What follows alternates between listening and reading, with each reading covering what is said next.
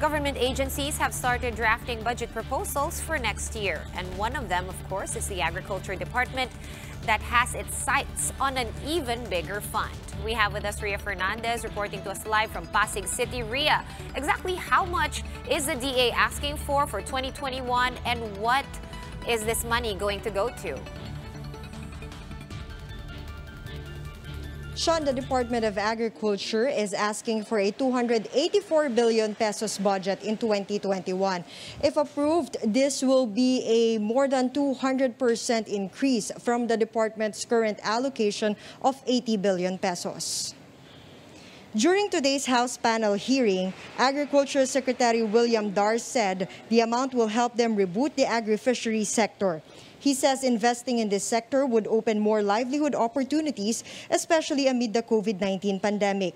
The proposed budget was broken down to two tiers. The first one, amounting to 62 billion pesos, will be used to fund requirements for the department's ongoing programs and projects and three-year estimates, while the second, worth 223 billion pesos, will serve as an augmentation fund. The Office of the Agriculture Secretary is set to receive the biggest chunk of the budget at 200 118 billion pesos, followed by the National Food Authority and the Bureau of Fisheries and Aquatic Resources.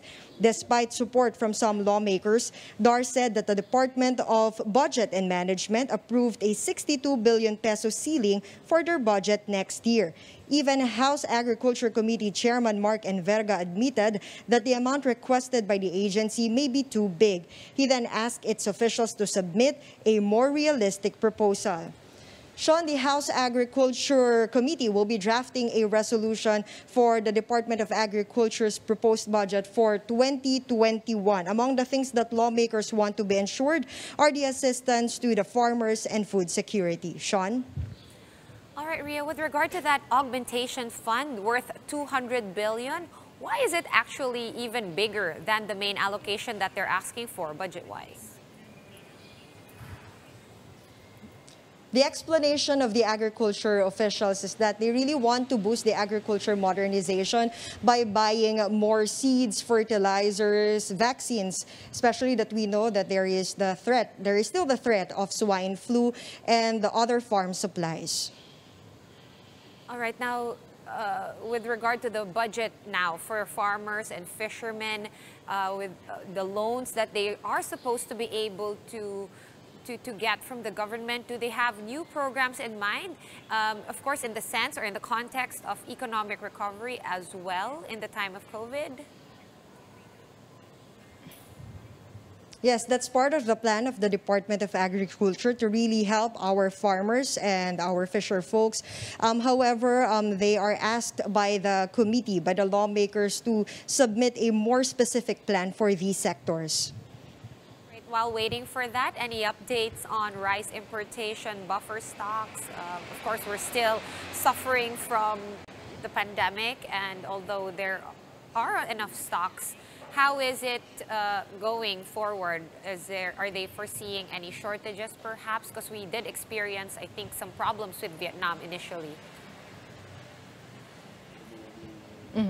Earlier in the hearing, one of the reasons or one of the um, explanations of uh, Secretary William Dar why they are asking for a really big budget is that um, they acknowledge the impact, the negative impact of the passage of the rice tariffication law to the farmers. And um, he told the lawmakers that among the things that they wanted to do is really to subsidize credit for the farmers and to provide training programs for them. All right, this is only the beginning of that budget saga for 2021. Thank you very much, Ria Fernandez of News 5 for joining us today from Pasig. Here are other stories we're keeping our eyes on. Quezon City Mayor Joy Belmonte tested positive for COVID-19. In a statement, Mayor Belmonte said she's not experiencing any symptoms. The mayor's office, as well as common areas over at the QC City Hall, have been closed for disinfection and the Manila Police District formed a task force to investigate the killing of Manila Chief Inquest Prosecutor Jovencio Senados. The National Bureau of Investigation is likewise probing the incident after the order of Justice Secretary Menardo Guevarra. ABS-CBN announces that it will stop operations of ACJO shopping by the end of this year. The network says it will let go of its employees starting August 7 after experiencing financial losses for the last two years. ACJO Shopping is ABS-CBN's joint venture with Korean company CJ E&M in selling products on TV under the O Shopping brand. For more updates, follow News 5, The Philippine Star, and Business World online. Visit our website, onenews.ph, for more in-depth analysis. You can also catch One News on the Cignal Play app. Just register for a free account at www.cignalplay.com and stream One News Live anytime, anywhere. I'm Sean Yao. We are One News.